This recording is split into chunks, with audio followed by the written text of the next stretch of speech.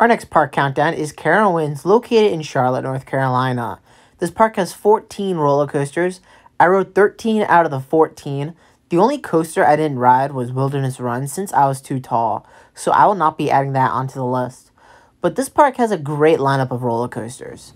This park has a variety of roller coasters too, ranging from small coasters like Woodstock Express to huge thrilling rides like Fury 325. There's going to be something everyone is going to like. So let's start the countdown. Before we head into the top 10, here are three roller coasters that missed the top 10. Ticket number 13 is the Carolina Cyclone, and I thought this ride was awful. I didn't like this ride getting off. It was rough, tons of headbanging, even keeping my head forward. I came off seeing spots. I thought this was better than the defunct Canobie Corkscrew, but it's still one of the worst roller coasters that I've ridden but I do like the appearance of the ride. I like how each part of the ride is painted a different color. Ticket number 12 is Kiddy Hawk. I also didn't like this ride either. It's a Vekoma suspended family coaster, so it's something like Freedom Flyer. However, I just didn't like this ride. I do think there's padding towards the restraints, and the padding is uncomfortable, so the padding did ruin the ride experience. It's also a really rough ride. Ticket number 11 is Ricochet. This is this is a Wild Mouse. I thought this was okay. There's some bad turns to the ride. Other parts were fun. It's just a Wild Mouse, and I'm not crazy about these rides. Start starting the top 10 is Vortex. This is a B&M stand-up. I didn't like it, but I didn't think it was that bad. I heard really bad reviews going in and getting off. I was kind of surprised. It was a little rough, but there wasn't bad headbanging. I did keep my head forward to reduce the head banging. So if anyone is trying to get a credit on Vortex, keep your head forward. Ticket number nine is the Carolina Goldrusher. This is an Arrow Mine Train. Rides like these, I'm not crazy, just like the Wild Mouses. It was alright, but definitely not outstanding. I like how it has a few lift hills though. Ticket number eight is Woodstock Express. This was really fun for a family wooden coaster. You do get some pops of airtime. It's definitely a ride the kids will like. And ticket number seven is Flying Cobras.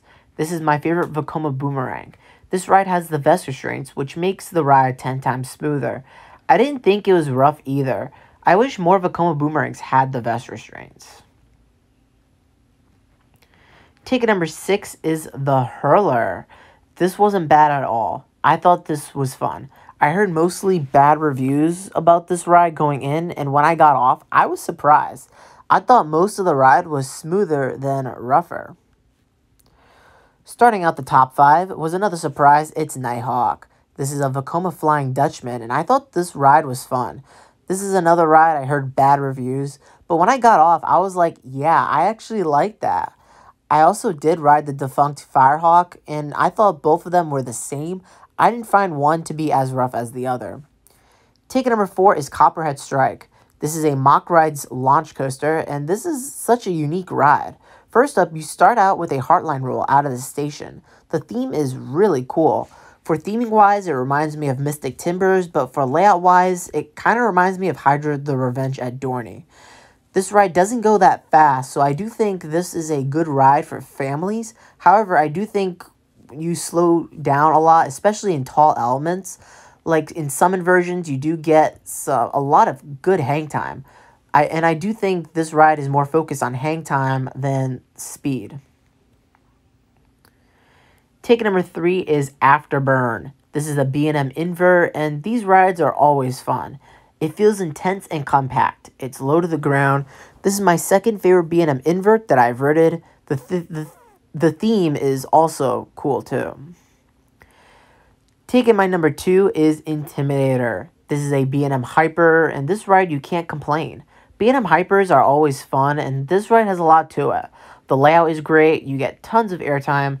This is my third favorite B&M Hyper that I've ridden. This ride would be number one in the park if Carowinds didn't have my number one in the park. And coming in at number one is no surprise, it's Fury 325 this massive B&M Giga. This is one of the craziest roller coasters I've ridden, and it definitely deserves all the hype. I got two rides on this. One ride was in the front, and that might be one of the best rows on any ride that I've ridden. The The layout is fantastic. I love how it it passes in the. I love how it goes throughout the front of the entrance. The tunnel is sweet too, and I just wish I had we had a ride like this here in New England. So that will that's gonna do it for my top thirteen roller coasters at Carowinds. Let me know in the comments if you agree or disagree and form your own list. Follow me on social media, links are in the description. Subscribe for more Coastermonium videos, and I'll catch you guys later.